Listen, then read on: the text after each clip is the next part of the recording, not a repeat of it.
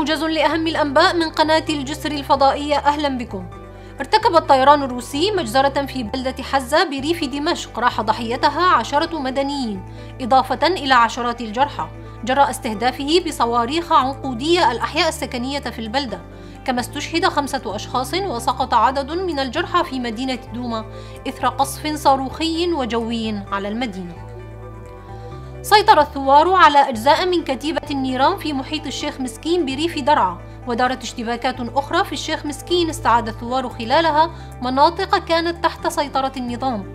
وفي غضون ذلك تعرضت المدينة لقصف جوي روسي كما طالت غارات للطيران الروسي مدينة نوى ما أسفر عن استشهاد ثلاثة مدنيين كما استشهد أربعة آخرون في بلدة تسيل جراء انفجار لغم أرضي.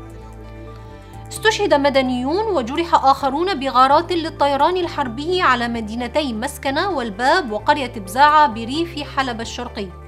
إلى ذلك دارت اشتباكات بين الثوار وتنظيم الدولة على محاور مدينة مارع في ريف حلب الشمالي.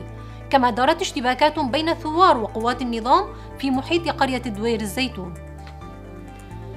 اغتال مسلحون مجهولون أمس قائد حركة أحرار الشام في ريف حمص الشمالي الشيخ أبو راتب الحمصي حيث قاموا بإطلاق النار على سيارة كانت تقله في قرية الفرحانية الغربية بالقرب من مدينة تلبيسة ما أدى إلى استشهاده.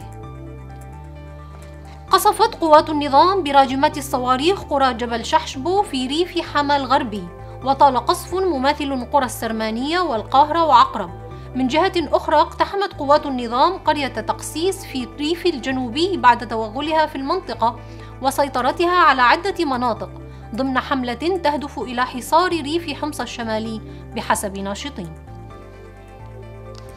شن الطيران الروسي غارات جوية على الأحياء المحررة في مدينة دير الزور كما طالت غارات مماثلة حويجة صقر وبلدة حطلة ودوار المعامل عند المدخل الشمالي للمدينة نهاية الموجز دمتم بأمان الله.